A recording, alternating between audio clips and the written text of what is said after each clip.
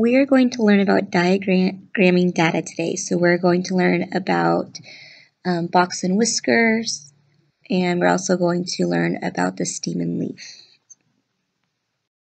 So the box and whisker diagram is a line segment, so it's a line, and that line is going to show us some very important numbers about our data. It's going to show the highest number of our data and the lowest number of our data. It's also going to show us the median of the data and the upper and lower quartiles. So what's a quartile? A quartile is any one of the three values that divide the data into four equally sized groups. So the lower quartile, you can find the lower quartile by finding the median for the lower half of the data. So how this works is that you're going to take your data and you're going to put it in order. And then you're going to split that data in half, okay, in half. So if it's an even number of data, then that's easy. You have the, you know, the lower half and the bottom half. If you have an odd number of numbers, then that middle number is not going to be in the lower or the upper. It's just going to be out because that's your median. So if it's even though, then you just split it right down the middle. So to find the lower quartile, you're going to take the lower half and then you're going to find the median of the lower half. To find the middle quartile, well the middle quartile is just the median. Um, it's the median for all the data. So just how we learned how to calculate the median in the last section, that's what you're doing. You're just finding the median for all the data. Then you have the upper quartile, which is the upper half of the data, and you're going to take the upper half of the data and you're going to find the median for the upper half of the data. So let's look at an example. Um, we have a set of data and it represents the number of pages that were read. Okay, and we need to find the lower, middle, and upper quartiles. So the first thing we have to do is we have to take this data and we have it in order from least to greatest. Um, or you could do greatest to least, that's fine too. Um, and it looks like there's an even number of numbers, so we have a distinct upper and lower quartiles. So this would be our lower quartile, and this would be our upper quartile. To find the middle quartile, remember the middle quartile is just your median. And remember to find your median, it's the middle number. So not 16 and 70, not 29 and 51, not 29 and 50, not 30 and 46, not 35 and 44, but 39 and 40. 39 and 40 are both kind of in the middle. But remember, we had to have one number. We can't say that the median is 39 and 40. We are going to take the average. So we take the average of 39 and 40. So 39 plus 40 and divide it by 2, which means that our middle quartile or our median of the entire data is 39.5. Now to find the lower quartile, remember that's the median of the lower Okay, so the lower is 16 through 39, right? That's the lower half of our data. And we are going to take the median. So it's not 16 and 39, it's not 29 and 35, but it's 29 and 30. But it can't be two numbers, so we're going to have to take the average of 29 and 30. So to get the average, we add them together and divide by 2. And so the median for the lower quartile is 29.5. Now to get our upper quartile, we have to find the median of the upper values, right? So between 40 and 70. So it's not 40 or 70, 44 or 51, but it's 46 and 50. Those are the two middle numbers. But a median is only one number, so we have to take the average of 46 and 50. So we add 46 and 50 together and we divide by 2 and we get the number 48. So the middle quartile, the lower quartile, and the upper quartile are all going to show up on the box and whisker diagram. So we're going to construct a box and whisker diagram for the data in this the example that we just did. So the box, and whisker diagram has five numbers on it. Two of the numbers is just the lowest number and highest number of your of the numbers that you have. So whatever the lowest number is and whatever the highest number is. And then you're going to have your quartiles, your lower quartile, middle quartile, and upper quartile. So the lowest number in our set was 16. So it's going to go here. It's going to be an endpoint. And our highest number was 70. So that's going to be the endpoint, okay, on the other side. And then our median is going to go um, next, 39.5.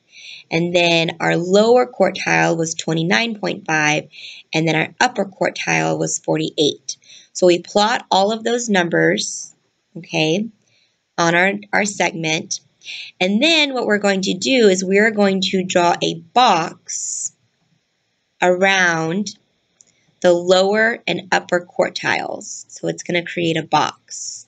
And then once we have a box that goes around the lower and upper quartiles, we're going to go and draw a hash line where the median is. And we're going to go ahead and put a line there. Okay, so that is the box and whisker diagram. So the, the whisker part, of course, is the, the segment that's outside of the box. All right, the next thing we want to talk about is what is an interquartile range. Now, a range of data is the largest numbers minus the smallest number, and that gives you your range. However, if you have an extreme number as your highest number and it doesn't really match any of the other data, it can kind of mess up your range. It's not going to be accurate or as accurate for that set of data. So they have created something called the interquartile range, and the interquartile range is the difference between the upper and lower quartiles.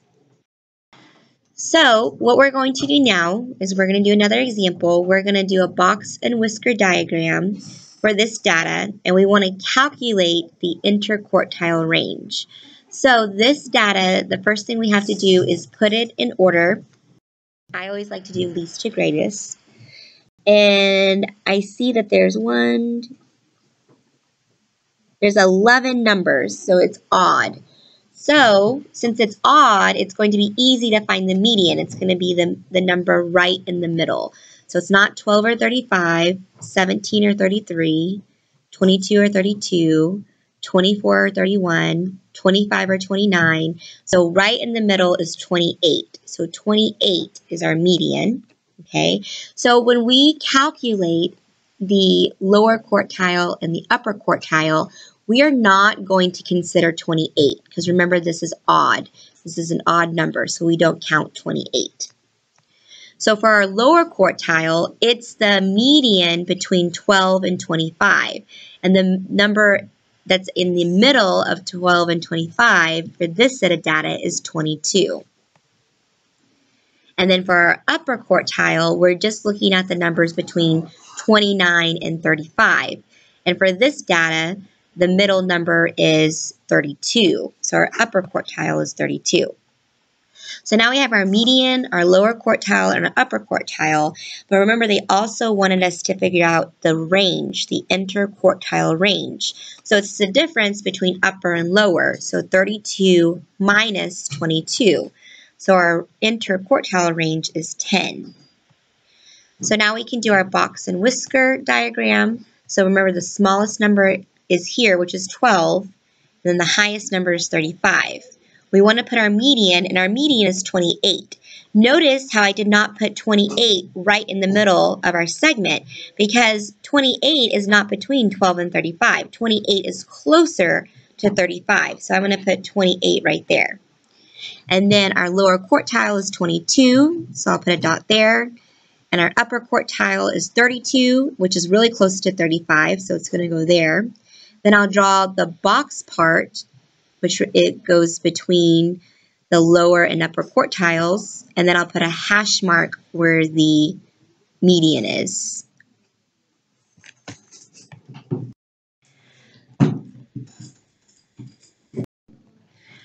Let's get some more practice in. So for these examples, we have two sets of data. we have set A and set B. And they have already put set A and set B in order from least to greatest. So that's wonderful. All we have to do now is um, look at the different information that we can get from those sets of data. So the first thing we want to do is find the median of each. So the median of A, remember, is the number right in the middle. So it's not 13 and 25, not 14 and 22, not 16 and 22, not 17 and 18, but 17 exactly.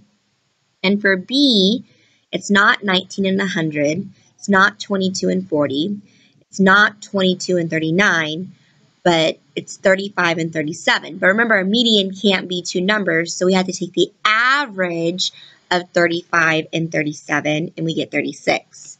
So the median for A was 17, and the median for B was 36. Now we want to find the lower quartile of each. So A has an odd number of numbers, which means that we're going to throw out the median of 17. So when we were looking at the lower quartile, we're looking at the numbers between 13 and 17. So the middle numbers are 14 and 16, and so the average of 14 and 16 is 14 plus 16 divided by 2, which is going to be 15. So that's the lower quartile for A. The lower quartile for, for B, since it's even, we're actually going to look at the, the, the lower half, all of the lower half. So between 19 and 35, the middle number is going to be between 22 and 25. So we take the average, 22 plus 25 divided by 2, and we get 23.5. Now we want to find the upper quartile for each set. So when we look at A, remember A had odd number of numbers. So we're not going to consider that middle number of 17. We're just going to do 18, 22, 22, and 25. So the number in the middle is, bet is between 22 and 22. Well, that means that it's going to be 22. And then the upper quartile for B is between 37 and 100, so between 39 and 40. And the number between 39 and 40, we take the average, so 39 plus 40 divided by 2 is 39.5. Now we want to find the interquartile range of each. So remember to find the interquartile range, we had to do the upper of A minus the lower of A. And then we had to do the upper of B minus the lower of B. So for A, that would be 7, and for B, it would be 16. Now we want to do a box and whisker diagram of A. Well, since 13 was my smallest number on A, that will be that end, endpoint. And then since 25 was the highest number at A, that's going to be that endpoint. Now my median is 17, so 17 is closer to 13 than 25, so it's going to go here. It's not going to go right in the middle. And then 22, which was my upper quartile, is close to 25, so it's all the way over here. And then 15 is in between 13 and, and 17, so that, that point's going to go there. So now that I have my five numbers, I'm going to go ahead and draw my box. And remember, my box goes around the upper and lower quartiles. And then I have, once I have my box done, I'm going to go ahead and put a hash where the median is, which was at 17. All right, now we're going to do our box and whisker diagram for B.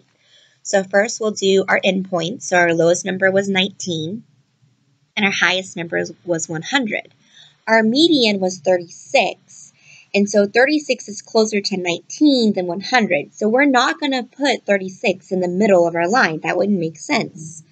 And then our upper quartile was 39.5, which is really close to 36. So it's going to go there. And then our lower quartile was 23.5, which is closer to 19. So it's going to go there. Now that we have our five numbers plotted, we're going to go ahead and draw our box around the upper and lower quartiles. And then we're going to put a hashtag where our meet, or not hashtag, but a hash line where our median is at 36.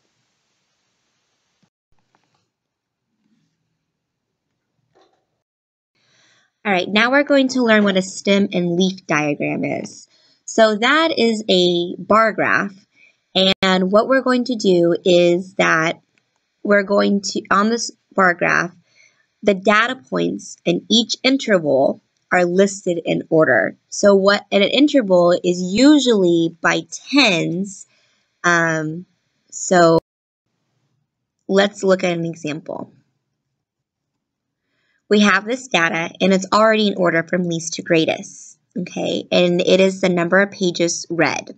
So it goes all the way from 16 to 70. So the stem part of our diagram is going to be the tens place. So the 1 and the 2 and another 2 and a 3 and a 3 and a 3 and a 4, four or a 5, 5 and a 7. But we're not going to write them multiple times for the stem part. The stem part, the numbers will only occur once. So just 1, 1, 1, 2, 1, 3, 1, 4, 1, 5, and 1, 7. Now, just like on a tree, there can be several leaves on one stem. So, for, uh, for example, there's a 0 and a 5 and a 9 that's going to be listed next to the 3. Let's see what that looks like. So here, again, there's was the 3, and there's the 0 and the 5 and the 9. Okay, so when we have 1 and a 6, that's the number 16. 2 and 9 is the number 29 and then 2 and 9 repeats itself again, that's another 29. Then we've got 3 and 0, that's 30. 3 and 5, that's 35. 3 and 9, that's 39. Then we have 4 and 0, that's 40. 4 and 4 is 44. 4 and a 6 is 46. 5 and 0 is 50. 5 and 1 is 51. And 7 and 0 is 70.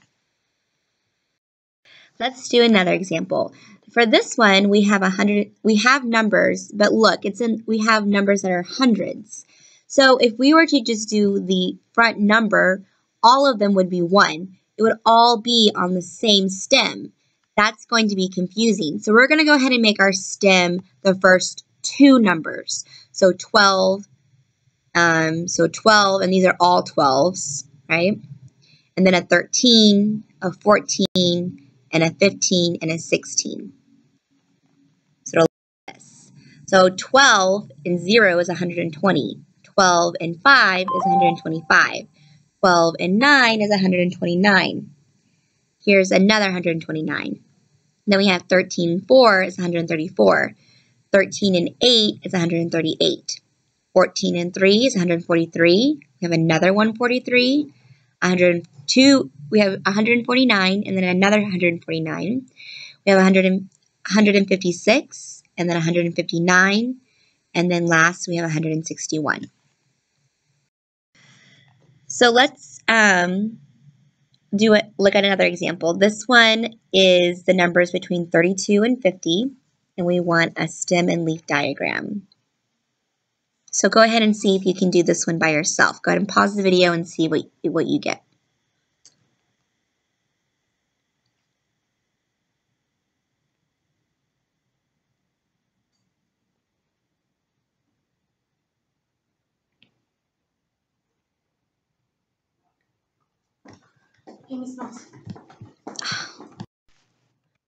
All right, so your stem and leaf diagram should have looked something like this. All right, now let's talk about scatter plots. Scatter plots are graphs that represent the relationship of two variables, so two different numbers, in the form of ordered pairs. So plotting points, just like we've already been doing, we learned how to plot ordered pairs, and we're going to put them plot them on a coordinate plane, just like we've been doing. The only difference now is that our, our ordered pairs mean something. Our ordered pairs might say 1 and 2, but the 1 represents a value of something, and the 2 represents a value of something.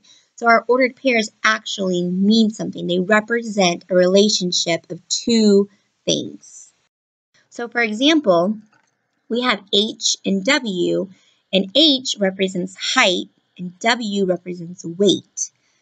So what we can do is we can make these ordered pairs.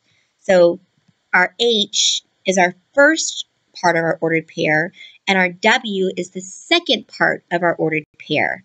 So 65, comma 160, 63, comma 145, 72, comma 180. And so when we graph we can graph them on a plot. So remember, H was our first number, and remember our first number is the x-axis. So that's why it's horizontal. Notice that I did not start at 1 which is good because my first number in this data is 60. So if I started at 1, I would have to be drawing a really big graph. So I went ahead and started my graph at 60. And then notice that I did not do 61, 62, 63, 64, 65. Because if I did that, I would have to go all the way to 78, and that's a lot of numbers. So instead, I counted by 2, 62, 64, 66. So you can do that. And then remember, we let the second number represent weight or W. So that's our y-axis.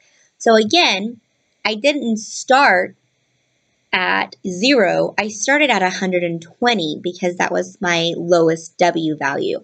And then I went ahead, my since my highest number was 240, I didn't want to draw a graph that went all the way between 120 and 240. So instead, I decided to count by 20s, 120, 140, 160, 180, 200, 220, 240. And I, I used those intervals instead so that way my graph wasn't a huge graph. And so now I can plot those points. So for example, my first ordered pair was 61 comma 120, which is this little triangle right here.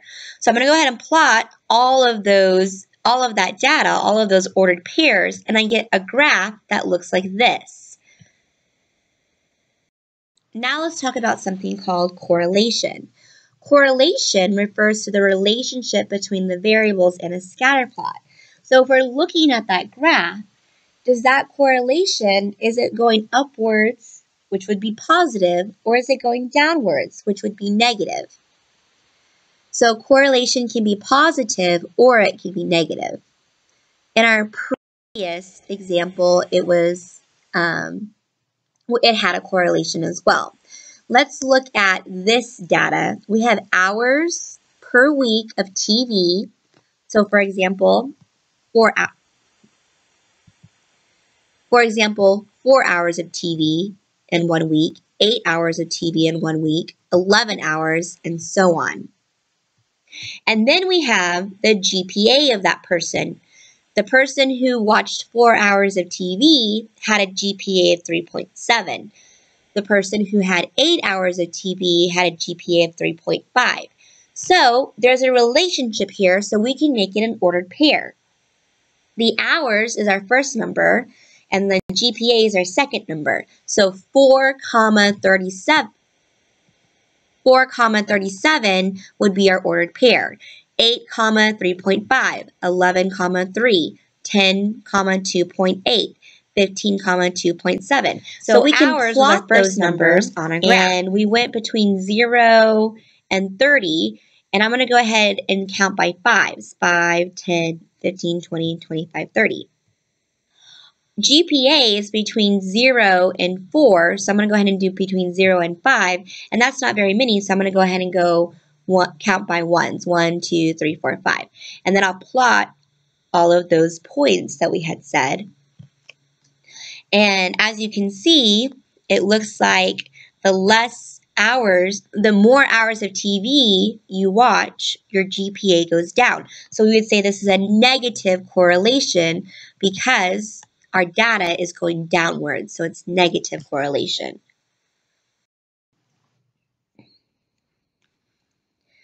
All right, so um, for this example, we want to construct a scatter plot for the data, which is this data has the uh, minutes of exercise and heart rate of a person.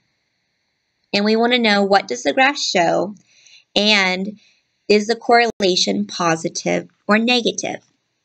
Our data, so we have the minutes of exercise, so this is 5 minutes, and their heart rate is 92.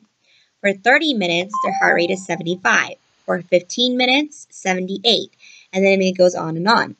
So what we want to do is we want to go ahead and graph this. So remember, our m is our first number. That's along the x-axis. And then our r is on the y-axis. That's our y values. So we're going to plot these points, 5, comma 92. So when we look at our graph, minutes is on the x-axis.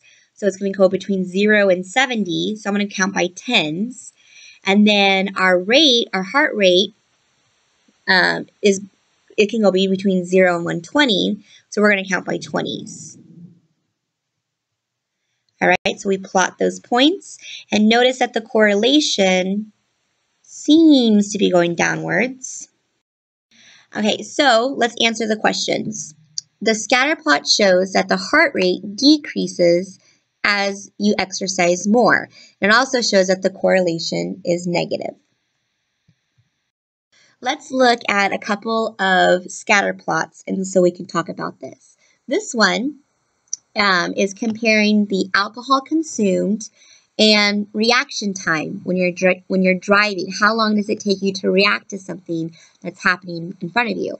So it looks like the more alcohol you consume, the longer it takes you to respond to something. And so if you notice, all of these plotted points, they seem to be going upwards. So we'd say this is a positive correlation.